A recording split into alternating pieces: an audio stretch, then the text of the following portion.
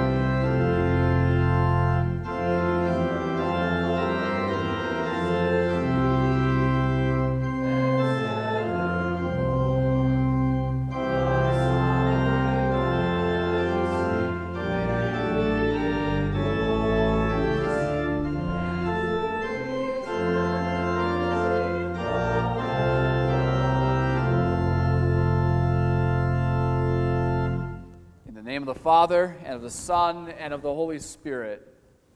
Amen. Beloved in the Lord, let us draw near with a true heart and confess our sins unto God our Father, beseeching him in the name of our Lord Jesus Christ to grant us forgiveness. Our help is in the name of the Lord. I said, I will confess my transgressions unto the Lord. And you forgave me of my sin.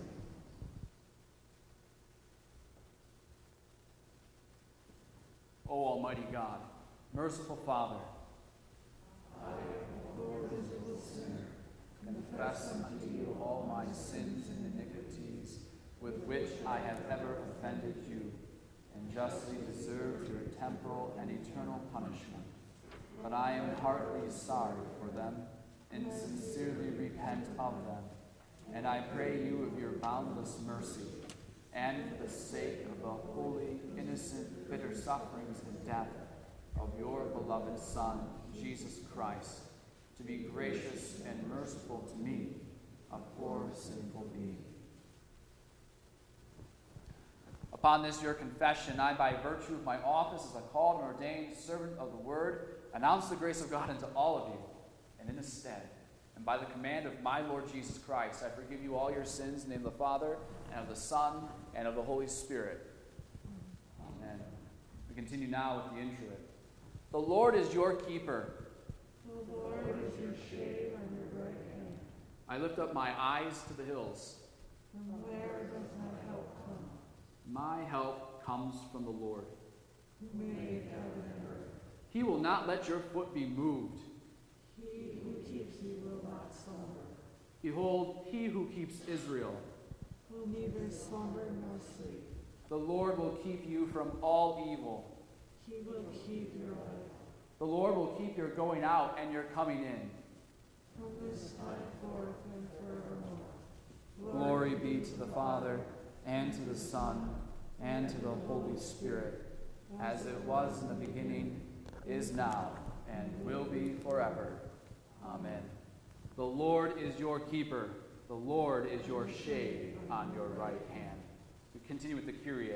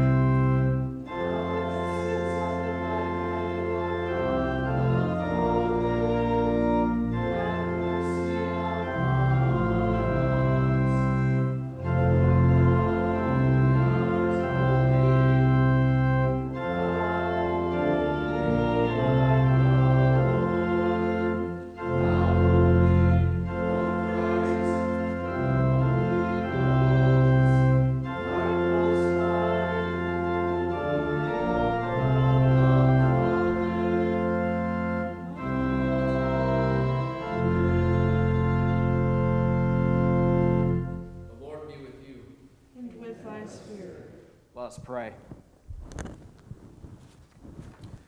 O God, the protector of all who trust in you, Have mercy on us, that with you as our ruler and guide, we may so pass through things temporal, that we lose not the things eternal. Through Jesus Christ, your Son, our Lord, who lives and reigns with you in the Holy Spirit, one God, now and forever. Amen. Please be seated for our scripture lessons this night.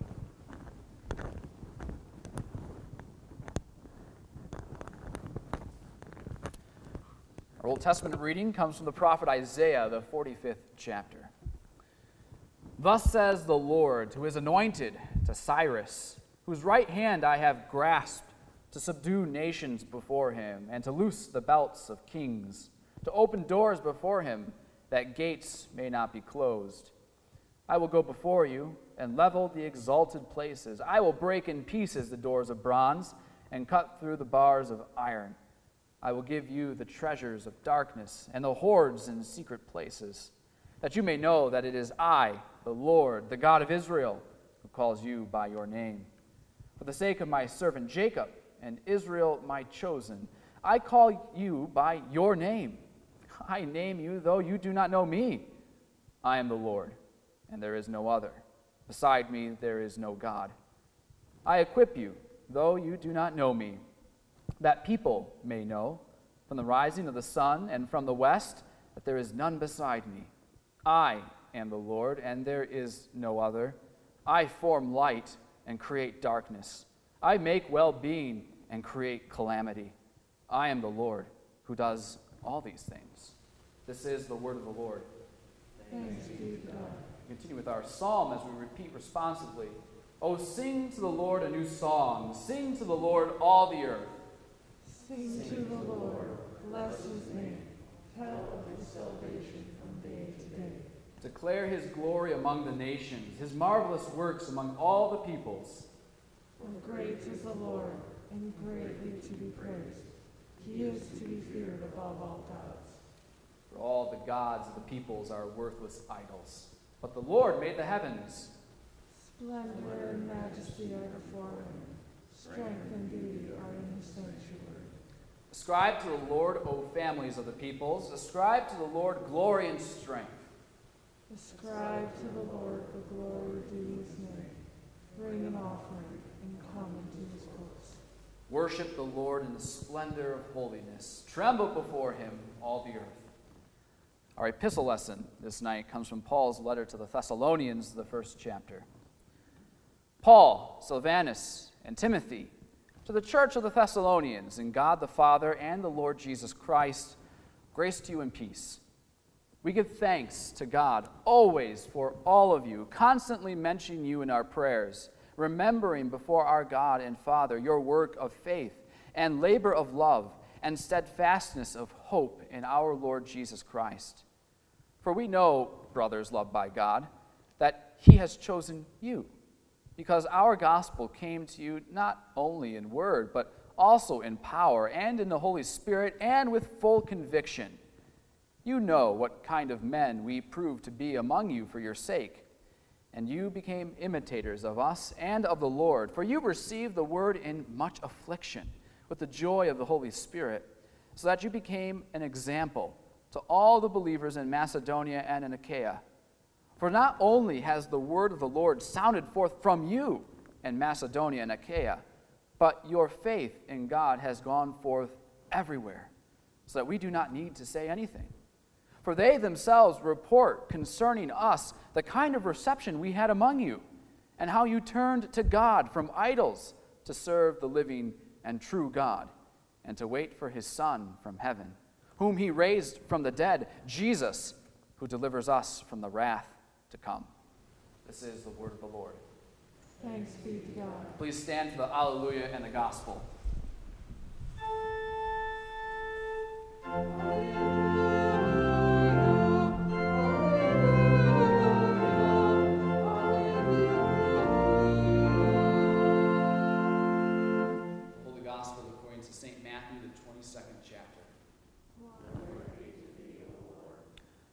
Then the Pharisees went and plotted how to entangle Jesus in his talk. And they sent their disciples to him, along with the Herodians, saying, Teacher, we know that you are true, and teach the way of God truthfully, and you do not care about anyone's opinion, for you are not swayed by appearances. Tell us then, what do you think? Is it lawful to pay taxes to Caesar or not? But Jesus, aware of their malice, said, Why do you put me to the test, you hypocrites? Show me the coin for the tax. And they brought him a denarius. And Jesus said to them, Whose likeness and inscription is this? And they said, Caesar's. Then he said to them, Therefore, render to Caesar the things that are Caesar's, and to God the things that are God's. When they heard it, they marveled, and they left him and went away. This is the gospel of the Lord. Praise be to you, O Christ. Let's now confess our faith together in who our God is by speaking the words of the Nicene Creed.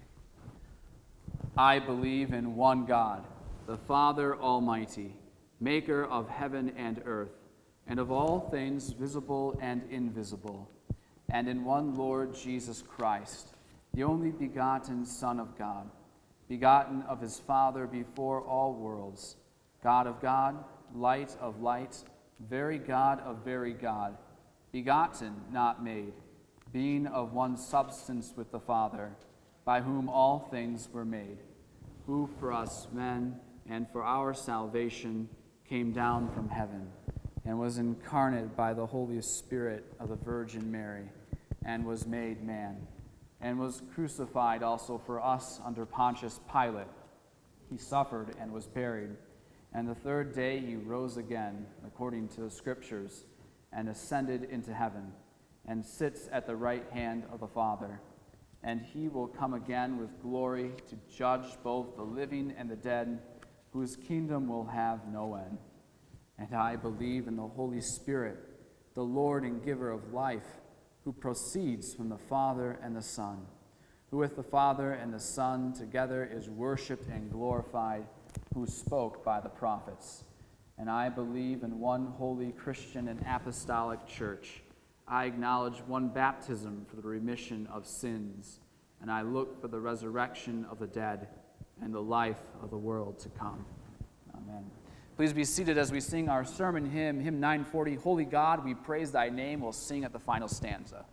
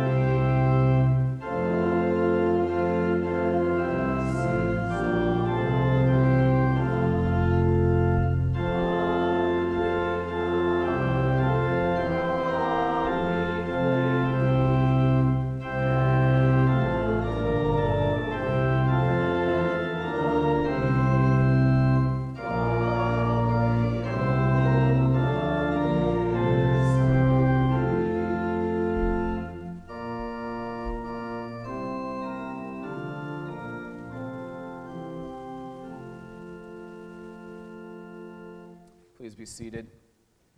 My dear brothers and sisters in Jesus Christ, the sermon today is preached not only on my behalf as your pastor, but also from our DCE Tammy, our elders, our church council, our office manager, and the rest of our staff. This is from all of us who labor over you in love.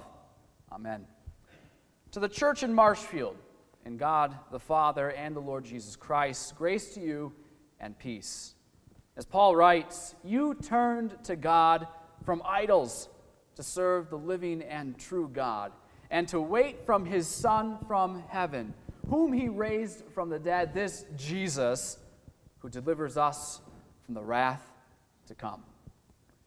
You know, dating wise, Paul's first letter to the Thessalonians is the earliest book written in the New Testament, most likely written around 51 AD. So before any of the Gospels were put ink to paper, before any of other the Paul's letters were written, First Thessalonians is the first New Testament book to be put down on paper. And from it, Paul gives us a good reminder, an encouragement, and a warning that as the people of God living today, we would be wise to pay attention to. Our lesson from Thessalonians reminds us of the power of the Word of God. Jesus Christ, who is the Word of God made flesh, whose power saves us from the wrath that is to come. It also encourages us to see and live out the fruits of faith, of joy, of love, and of peace, hope that spring forth from God's Word. And finally, it warns us that if we should turn from God's Word and instead listen to the words of idols, that that wrath that comes upon those idols will also result upon us as well. But before we get too much into all of that, Paul's letters are always better understood once you see why Paul is writing. You see, St. Paul is a missionary, an apostle, going from town to town, starting churches to each of the towns that he goes into, appointing leaders in those churches, and then he would leave and go to the next town. And then on his way back through, he would go back through all the towns where he started churches and he would visit the brothers and sisters in the faith and check in on them to see how they were doing, these churches that he has started. During Paul's second missionary journey, which you can go and read about in Acts chapter 17, Paul comes to the city of Thessalonica. It's a city nestled on the eastern shores of Greece. And when Paul gets there, he begins his stay by going into the synagogue and preaching and teaching concerning Jesus Christ. And people are converted. Especially, we're told, a large number of Greeks, non Jews, Gentiles, and a small church is founded. But something happens that just throws everything off. Paul and Silas are only in the city of Thessalonica for three Sabbath days, three weeks before the unbelieving Jews become jealous that there are Greeks turning to God and becoming Christians. And so we're told in Acts chapter 17 that these unbelieving Jews rouse the wicked people in the city among the rabble, and they form a mob. They start a riot. They attack a leading member of the church named Jason, and they proceed to have him thrown into jail. And then they mount a manhunt to see if they can find Paul and his companion Silas and kill them. In response to all of these events that suddenly overtake the city, these new believers, this small little church, they take Paul and Silas by night and usher them out of the city because they do not want to see them dead. You know, Paul, he's not someone who cares about himself or whether he lives or dies. In fact, Paul probably would have stayed in the city if it wasn't for this repeated admonition of his disciples no, please go. So, only three weeks of teaching and training. These new Christians are now without a leader and without someone to teach them about Jesus or how this faith in Christ is lived out. Now, stop here and imagine this for a second. Many of you have been Christians for decades. You know, or at least should have known or heard, the stories of the Bible year after year now. You know the beliefs, the doctrines, the lifestyles of our faith very well. But imagine that this Christianity is a whole new concept for you. You've never heard about Christianity, Jesus Christ. Who is that? You don't know the story of the Bible. You don't know about the birth of Jesus. You don't know his life, his miracles, his teachings, his passion, his death, his resurrection. These are foreign concepts to you. You don't know anything. Now imagine that you only have three weeks to learn it all. You only get to hear three sermons because Paul has had only three Sabbaths to teach and preach. Imagine you only had 21 days to come and visit the pastor, talk and learn and grow before everything was swept under the rug and pulled out from underneath you. So, as St. Paul is being evacuated out of the city, away from people who have just barely begun to hear about Jesus, what do you think he's worried about? He's worried about, any, about what any pastor or teacher would rightly be worried about namely, that these new believers in Jesus Christ will not make it. Paul fears that, like the parable of the sower that Jesus teaches, where these believers will be like the seed that's planted in the rocks, and it quickly springs up, but once the sun comes up, these plants wither and die because they have no lasting root, and they die. Paul's worried that these new Christians will fall back into their old ways or give way under the persecution because the riot hasn't left the town and then renounce the name of Jesus Christ. So, as soon as Paul can, Paul sends Timothy to travel back to Thessalonica to go and visit this congregation to see how they're doing and to see if there's any Christians left, right? Timothy's mission is a is anyone out there kind of mission. And Paul is hoping that he's going to hear some good news. Well, Paul is left pleasantly surprised and stunned. He hears back from Timothy, all right, but before he even hears back from Timothy, it's not only him, but he hears also from Christians who are hundreds of miles away in Macedonia and Achaia that the congregation in Thessalonica is not only still there, but boldly speaking and proclaiming Jesus Christ. In fact, they're doing it so well that they're setting the example for Christians in towns nearby, and they've only had three weeks' worth of training in Christian formation to boot to get it all done. How is this possible? Why are these Thessalonians so bold? For Paul, the first 10 verses of our lesson today spells it out. It was the Word of God that did this, nothing else. Paul spends this entire lesson tonight thanking God for the faith and for the Christians in Thessalonica. But hidden in verses 5, 6, and 8, Paul states that it is the Word of God that has accomplished their steadfastness, their hope, their joy, and their love for Jesus Christ. This is the Word of God that has come in the power of the gospel, he writes, by the Holy Spirit and brought them to full conviction to those who believe. He writes that they have received the word despite persecution and threats and have become imitators of Paul and the Lord and set the example. And then he continues on in verse 8 that they have returned, sounding the word of God forth like a trumpet to all the lands surrounding them. Paul is so amazed that he says that their faith in God has gone forth so well that it's reported to Paul that he doesn't need to even add anything to what they're saying. Now, Paul could be tempted to think that he's a good teacher, but he knows better. It is the Word of God, it is the gospel of Jesus Christ that has turned them and in only three weeks' worth of time, of teachings night and day, only three public sermons in the synagogue, the Word of God has inflicted its healing power. Paul teaches us the gospel here tonight, namely, that people were turned, which is the same word in Greek for repent. That these believers repented from idols and they turned instead to the true and living God. And now they're waiting for his Son from heaven, this Jesus Christ, whom God has raised from the dead. This same Jesus, Paul notes, who will deliver you from the wrath that is to come. It is the Word that has done it. And that's the point.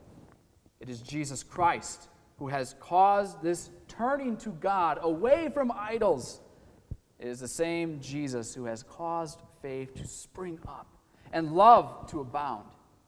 And it is this Jesus who I now turn to you as well this night. This congregation will soon be tested. If not already, then it will for sure come. No doubt our meeting coming up this weekend at our councils and our boards, it will appear. We deceive ourselves if we think it will not come, this temptation. So it is prudent that we prepare ourselves for when it does. The temptation is this that the Word of God is not enough. Too often, the church feels the need to turn herself away from the true and living God and instead run after idols. Idols, what are they? What do they look like? What do they sound like? Well, they have similar names, but they sound like this My passions, my choices, my truth, my preferences, my body, my life, my vision, my health, my security. You getting it? These idols are whatever we turn to serve instead of the transforming power of God's Word. These idols are false and dead, and they are an offense to the true and living God because idols pretend to be gods. For the one true God, He alone. There is no other, as we heard from our prophet Isaiah. There is no other. That's what makes Him true. He alone is the living one because only from Him comes the source of life for all beings. So, when people put their trust in that which pretends to be God, the true God gets mad, just like you would be if you found out that someone had stolen your identity and was going around doing things in your name and taking credit for the things that you had earned and done. So, God has a solution to these idols. You see, God has appointed a day, a day that He will cause His anger to burn against all idols, a day which He will ransack His creation drag these idols out and burn them until they are no more, until he alone remains God. But tragically, those who have idols will be destroyed along with their idols. Those who cling and serve to that which is false and dead will also end up like the idols they serve. That is the eternal wrath that is to come, that Paul makes note in the very last word of our lesson. And God will cause all of creation to experience it. But Paul reminds us that this same God has a son, and his name is Jesus. And God the Father is not content to have you or I die with these idols. So he sent his son to save you from your sins, to free you from these idols, and to turn you instead to the true and living God.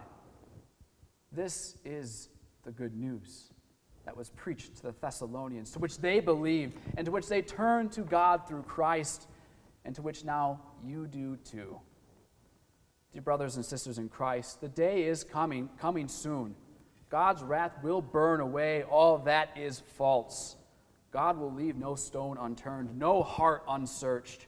All will be revealed and undone. But on that day, when it comes, Jesus will come again.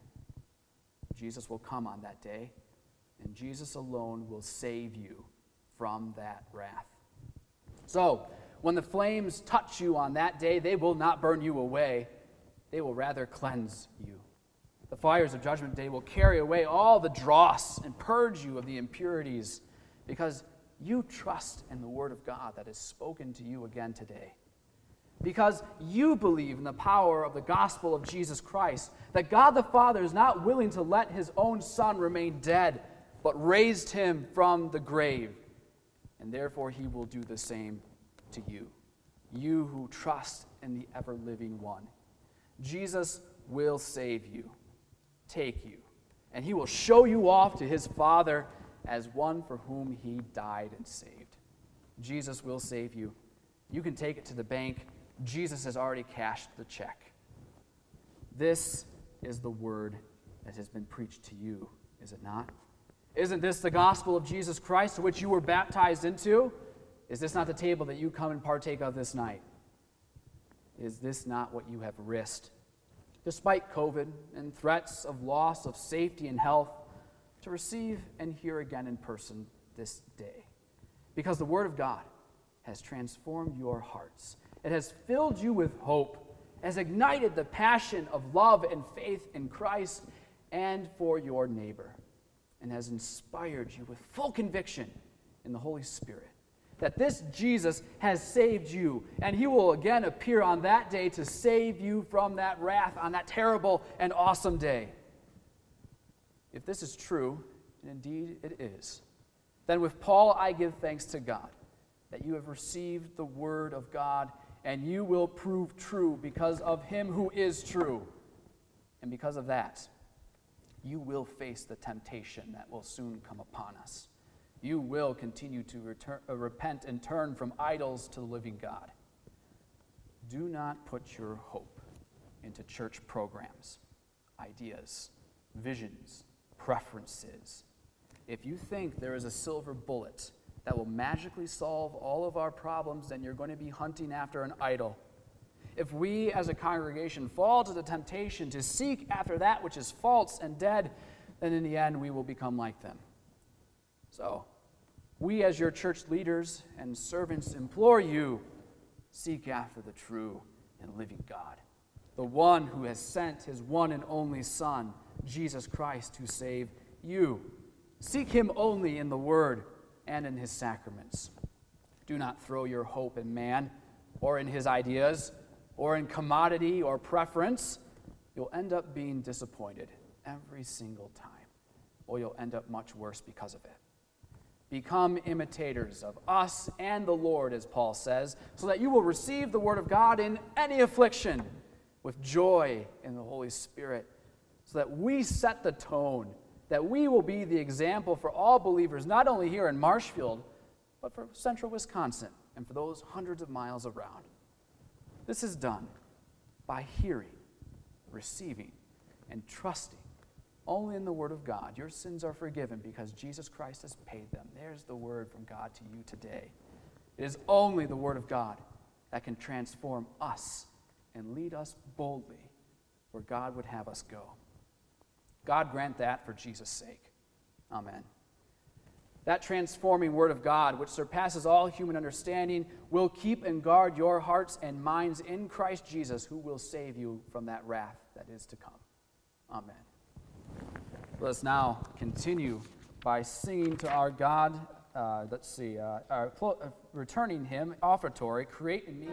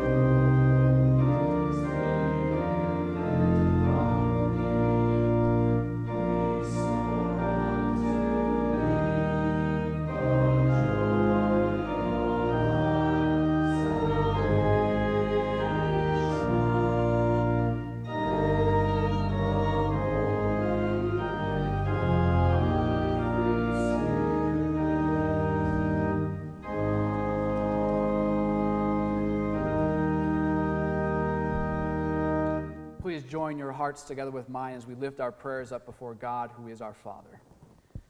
Dear God, Heavenly Father, we give thanks for your word, the transforming power of your word that calls us out of darkness and into your marvelous light, that turns us from our idols and our vain ways into your way, to your truth. Lord, we give thanks for this. Lord, in your mercy, we ask that you be with all the churches here in town, scattered throughout the world, that all of us as believers may call upon you, who is the true and ever living one. Be with pastors and teachers in your church. Be with our seminaries and colleges and, the, and our Christian day schools. That those who learn and those who teach may ever grow stronger in your word. Lord, in your mercy. Be with our congregation here at Christ Lutheran Church. Be with our members. Be with all of our leaders. Grant us your Holy Spirit. Grant us your direction. Grant us your wisdom, that we may not act as the world acts, but as your people have been called to act through all the ages. Lord, in your mercy, give strength to our world, a world that is hurting and broken and in shattered pieces, that we may turn to you. Lord, be with our leaders, those who are authorities over us, our president, our governor, our local magistrates, those who judge our laws, those who make them, and those who enforce them, that we as people may have common life and live in peace and love with our neighbor. Lord, in your mercy.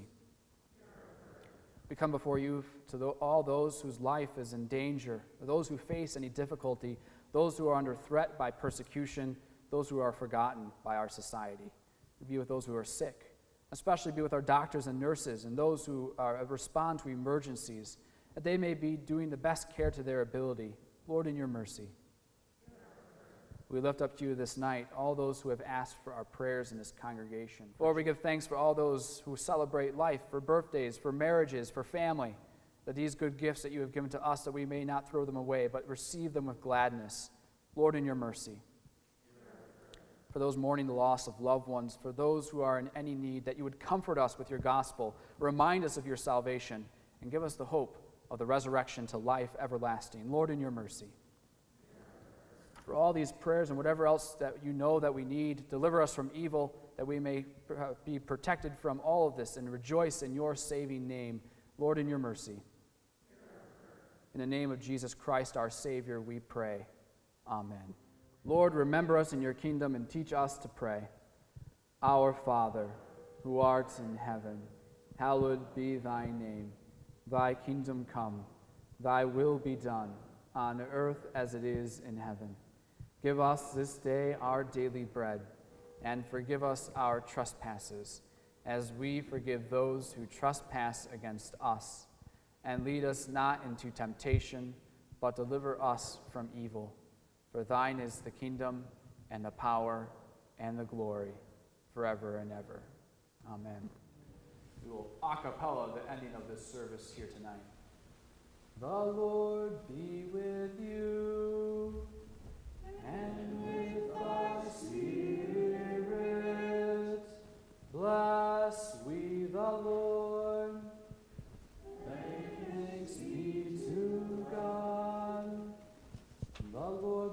you and keep you.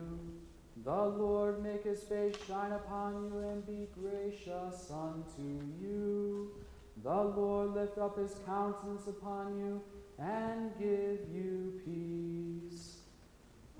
Amen. Amen. Amen. We close now with our closing hymn, hymn number 13, Rejoice, O Pilgrim Throng.